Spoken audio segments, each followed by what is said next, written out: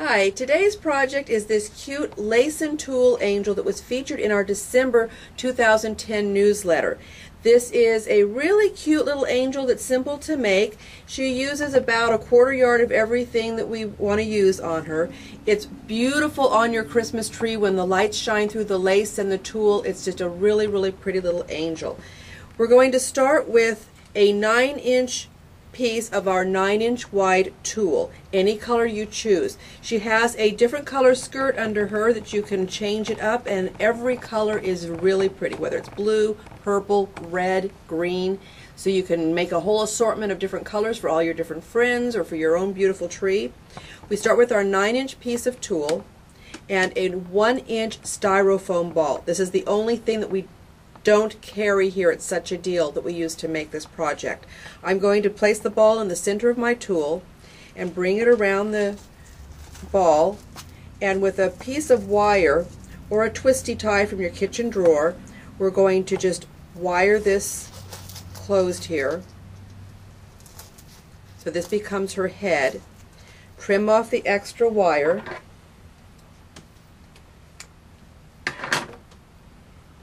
And the next thing we need to do is put her gold thread that we're going to use for her hanger onto the back side of her head.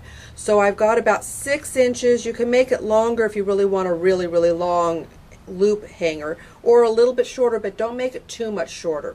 This is six inches, and what I'm going to do is take a little bit of glue with my low melt glue gun and glue this to the back of her head. I have one that I've started. I'm going to jump to that one just because of time. But I've glued it up the back side of her head here with the glue. And then I've taken about a two and a half or three inch piece of three millimeter gold pearls. You can use gold or silver, whichever you prefer. This is going to be her halo. Put a little bit of glue along one end and we'll glue that to the top of her head. Just press that down. Bring this into a circle, put a little bit of glue at the end here, and we'll glue that right like so, so it becomes a ring at the top of her head and creates her halo. Next we're going to take 9 inches of lace style 6096. This is about 2 inches wide and with needle and thread along the straight edge here we're just going to start doing a gather stitch and so we can gather this up with a drawstring. So just weave in and out of your lace all the way along the entire distance of it so you end up with a lace with your thread out both edges of it. Gather this up on your thread and bring it around the neck of your angel. Your drawstring, you're going to want to knot this at the back of her head. So lay her down so that you can knot this at the back of her head. Pull it nice and tight. Tie it a second time. And trim off the extra thread.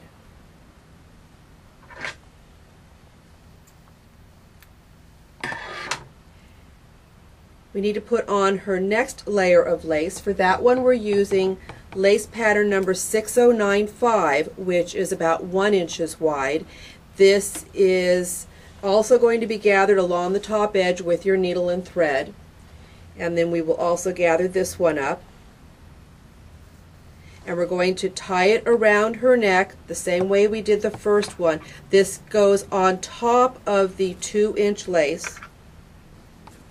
And again, you're going to want to tie this at the back of her head.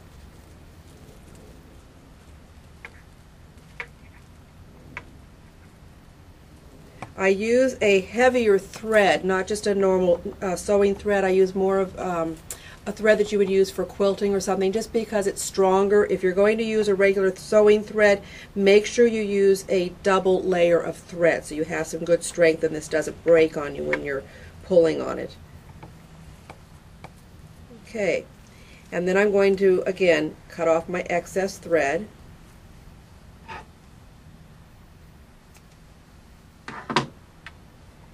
I'm going to glue this one inch piece of lace up on the back side of her head here to camouflage the string that we glued onto the back of her head. So with a little bit of your low melt glue, put some glue along the edge of the lace and bring it up and just tap it onto her head. Put a little bit of glue on the second side and overlap it a tad and bring it up onto the back part of her head there. And then put a little bit of glue down here at the bottom of the skirt to glue the longer piece together also so it's not going to split apart on you. Notice I have not trimmed the tulle down here. We'll do that at the end because it's sometimes helpful to have this extra length to be able to hold on to when you're making her. Now I'm going to give her her wings. For her wings, I've taken a 5 8 inch to 3 quarter inch sheer ribbon and I've tied it into a little bow. And I'm just going to take this bow, I've trimmed off my edges here so it's all about the same size, and I'm just going to put some glue in the center of my bow. On the back, I'm going to glue this to the angel between the two layers of the 2 inch and the 1 inch lace here at the back of her head bring her around to her front, and make a bow using eighth inch satin ribbon. This one has a little gold edge along it, or you can just use uh, solid red ribbon if you want to use a solid color without the metallic, and just tie it into a little bow. Don't make it too big a bow because this is going to go at her neck, so you want it to be small and we're going to put a little bit of glue at the center part of this bow and glue it to her front neck right there. Trim off the ribbon tails so they look about even on both sides.